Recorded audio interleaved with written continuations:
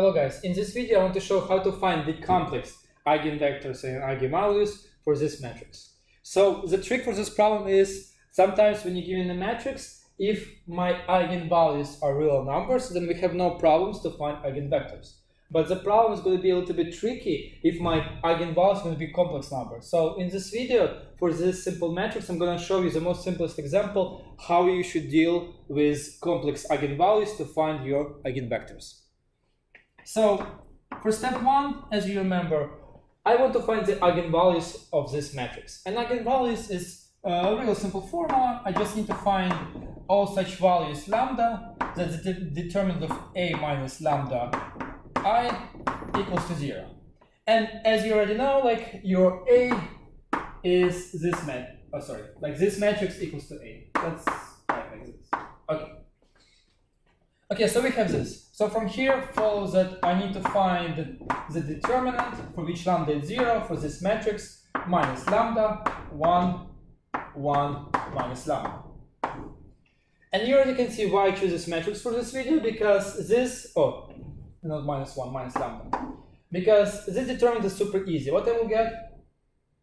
Oh, actually I need to change something. I will change here, put minus 1. Why minus 1? You will see in a second. So I have minus lambda times minus lambda, so I have minus lambda squared. And then I have uh, minus 1 times minus 1. So minus minus will cancel, so I have plus 1.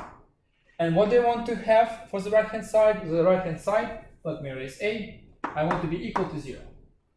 So from here follows that lambda squared plus 1 equals to 0.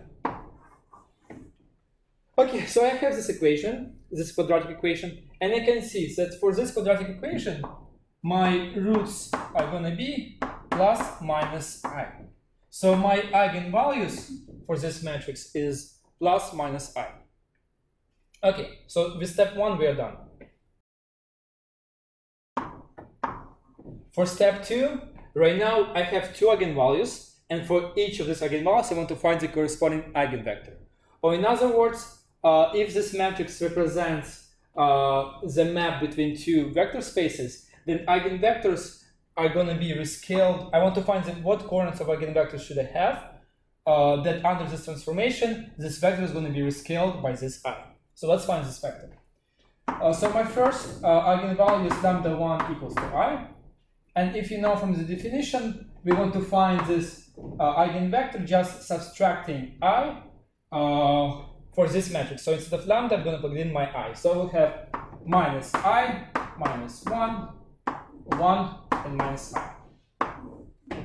So what is my next step? This matrix on the left-hand side is actually equals a minus lambda i. So my eigenvectors are going to be base of the null space of this matrix. So what does it mean? It means if I'm going to take any vector x and I'm saying that x belongs to null of a minus lambda i. And what's the definition that x belongs to null? It means that uh, a minus lambda i times x equals to 0.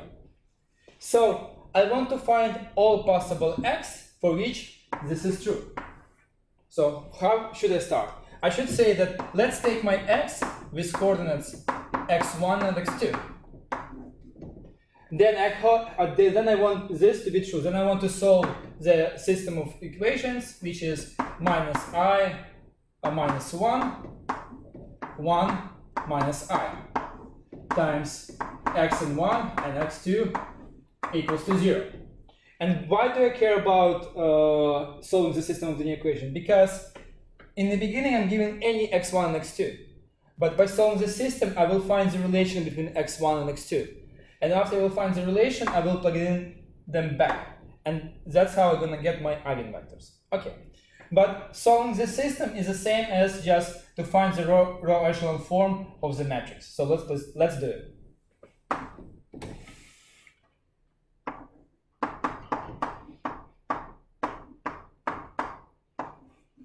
Yeah, and this is where complex numbers are important because here, uh, and in general case, it's going to be very more complicated complex numbers, we don't know how to simplify it. So what I recommend for this one, uh, let's take this element. And let's call this element z. Then z is a complex number. And in this case, we can see that z is not zero. And what I know about complex numbers? I know that if complex number z is non-zero, in this case z is non-zero, then I can find such complex uh, number w that z times w equals to 1. So why I'm doing this? Because I want to multiply the first row, yes, the first row, by some w to make this 1. And when I'm going to make this 1, I'm going to make this number to be 0. So we see. So let's do it. So in this case, uh, what is my z equals to? My z equals to minus i. So I want to solve this equation. Minus i times w equals to 1. But we can see if I'm going to multiply this uh, by minus i, yes, no, by i, both sides, then we'll have minus i squared, w equals to i. Then minus i squared is minus 1, minus minus 1 is 1. So from here we'll get the w equals to i. So I want to multiply my first row by w, and let's do it. Uh, for this one, I will get that minus 1 times i, as we know, is going to be just equals to 1. But minus 1 times i is going to be just minus i. And voila. Right now we have 1, 1 minus i and i. So what can we do right now? We can multiply uh, by minus 1 the first row and add to the second one. And what I will get? I will get 1 minus i 0 and if I'm going to multiply this by minus, uh, 1 I will get i plus i. Oh sorry this is not uh, i this is minus i. Yeah minus i here sorry for mistake. Then uh, it's going to be pl plus i minus i so it's going to be 0 and I got this matrix. And you can see that by doing any row row, operation, uh, row operations, I cannot simplify this matrix anymore. So what should I do next? Uh, here I need to think, let's multiply by my x1 x2, and the whole thing I want to be equal to 0, 0.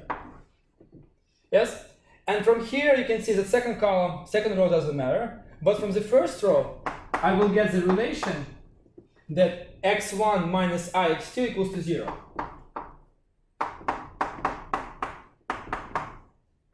Yes? So from here what I will get, I will get that x1 equals ix2.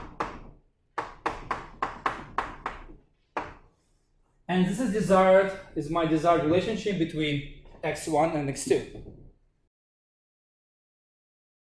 So you can see in the same way, by having this vector x1 and x2, we ended up that my vector x is equals to uh, x1 is ix2, x2, and right now, here we can think about x2 as a parameter t. So let's make x2 equals to t. Then I will have i t t. So here we did, we said x2 equals to t. And then we can see that t is a scalar, so we can factor it. So we'll have t equals i 1. And now we can see if this vector x belongs to nullity, then this x has this form. And this form is just rescaling of the only one vector. So first thing, I know that nullity is one-dimensional, and the basis of this uh, like space is going to be the eigenvector i1. Okay, so let me show you really quick the solution for the second one. So for the second one, what's going to change? I'm going to put minus here. I will change this to plus plus. I will apply the same method when I'm going to multiply by w. So after this, I'm going to multiply this minus i, uh, my first row. And then I need to subtract uh, my, uh, first, my first row from the second one. And I will get exactly 0, 0. So from this, repeat the same as we did for the first eigenvector. I will have x1 equals ix2 equals to 0. Then my x1 equals minus i x2. So from here, I can conclude that my vector x equals to x1 x2 equals to uh, minus i x2, but x2 I can think as a t, and t. So it's equals to t.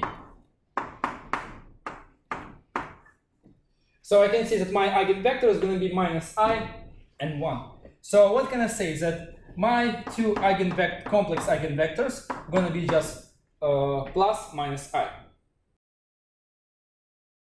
And the last step, number four, let's check our answer just from of one of the eigenvector. So my original matrix is 0, minus 1, 1, uh, 0. So let's multiply by my i vector, eigenvector i1, which has corresponding eigenvalue i. So we'll multiply by i1 and see what I will get. Uh, for the first uh, component, I will get 0 minus 1. For the second component, I will get just i. And you're like, hmm, wait a second, where is my i? But let's try to factor i. So if I'm going to factor i, I can see this, my component equals to 1. But by what value do I need to multiply by i to get minus 1? Exactly, I need to multiply this by i. And voila, I get my eigenvector, sorry, eigenvalue, my eigenvector, as a result of taking my matrix and multiplying by this eigenvector. So for every math problem, please, after you get your result, always check your result. Okay, uh, guys, thank you for watching. Let me know if you have any questions about this problem. I hope you enjoy this problem. If you're not subscribed to my channel, please subscribe. And let me know if you have any questions. 拜拜。